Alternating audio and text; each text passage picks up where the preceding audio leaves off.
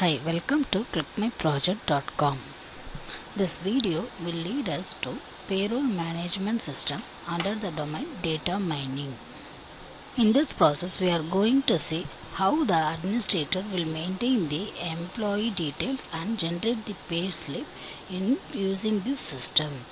In existing payroll system, the services provided by it are payroll checks and reports, tax reporting. The administrator has to update the required information for generating payslip and he has to maintain the employee details and timesheets of the employees. In this system, the administrator will register the employee and issue a specific ID and password to the employee. Features of systems are maintaining employee information records including timesheet management and other features like generating salary report and leave report. The system itself would update whatever we required. The employee duty is to get login into the system and use the system for leaves, payslip request, edit profile, etc. In manual system, the possibility for error occurrence is high while updating the data. Now we are going to see the process flow. First, we split the process into three phases. The first one is administrator phase, and the second one is department head phase, and the third one is employee phase. In administrator phase, the administrator will log on to the system and register the new employees in order to generate the ID and password for all new employees. Then he can generate the payslip for all the employees in an organization every month.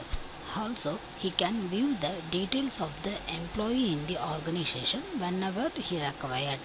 By using the system, the administrator will approve the leave request by the department head. Also, he can sanction the request to view the payslip by department head by using the system. After finishing the work, he can log out of the system. In department head phase, the department head can view and edit the profile of her. Also, he can request the administrator to view the payslip. Or the department head can request leave to the administrator and approve the leave submitted by the employees. Also, he can sanction the employees to view the payslip. After completing his work, he can log out the system. In employee phase, the employee can log on to the system and view the profile or edit their profile. Also, the employee can request the department head to sanction for viewing the payslip.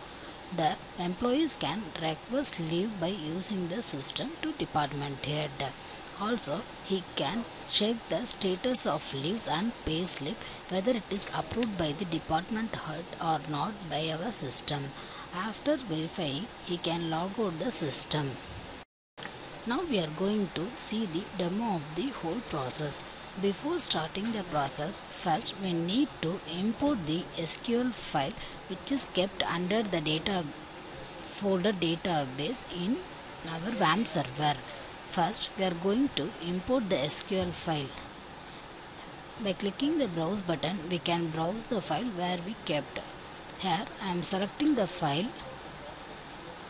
payroll.sql for our process. Then clicking go button to import the SQL file. Once we get the message import has been successfully finished, now we can start our process. To start the process, first run payroll system.jsp. First, the administrator will log in by using the username as ad admin and password as admin123. Then he click the login button to log in. The username and password is validated and redirected to the navigation page. Then the admin is going to register the new employees. First, he has to specify the ID for the new employee. Here I am giving the ID as 101 and name as John. Father name has to specify the date of birth.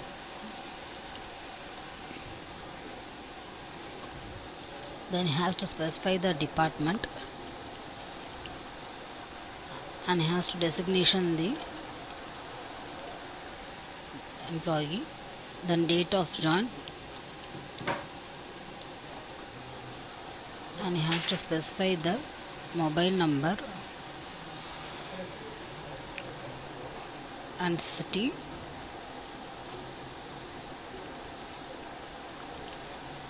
After that he has to specify the basic salary of that employee. Then you will click the register button to register that employee. Then you are going to register the new employee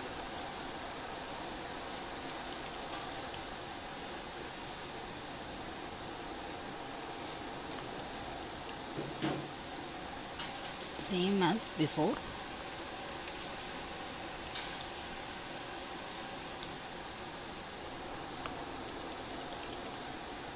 We are going to specify the designation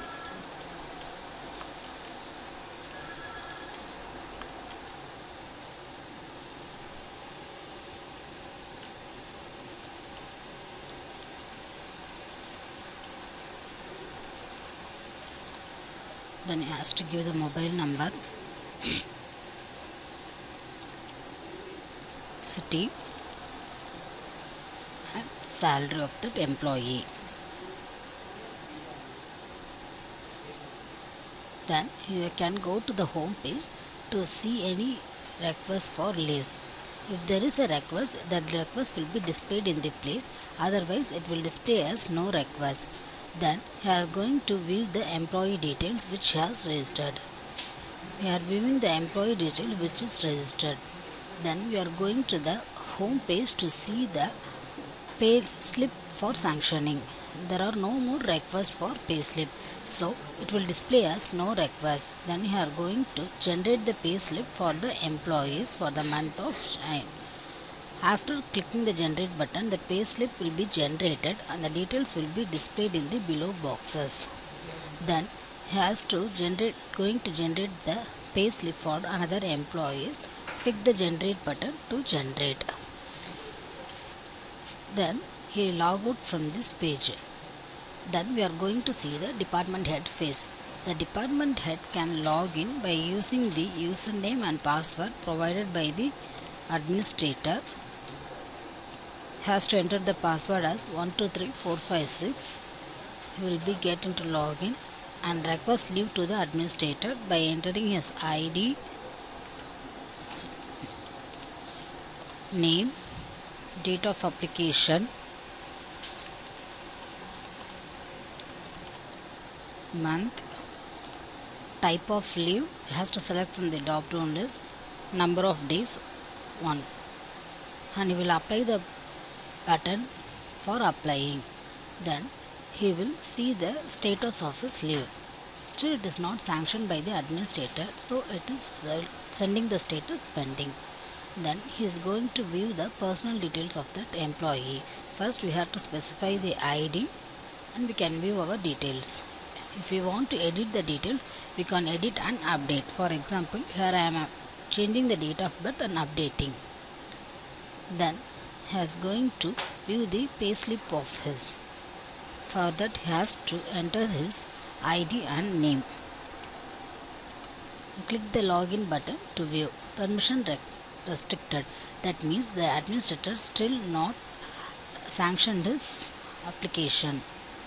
Then he is going to sanction the payslip for the employees.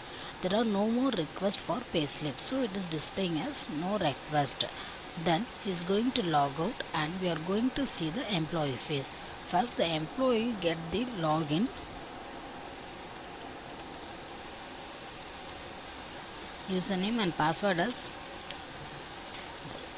he will request for leave. First he will enter the id name and date of application month type of leave number of days. He will apply the leave and view the status of the leave. Also he can view the personal details of the employee. If you want to edit you can edit and update. Otherwise we have to going to request the payslip for view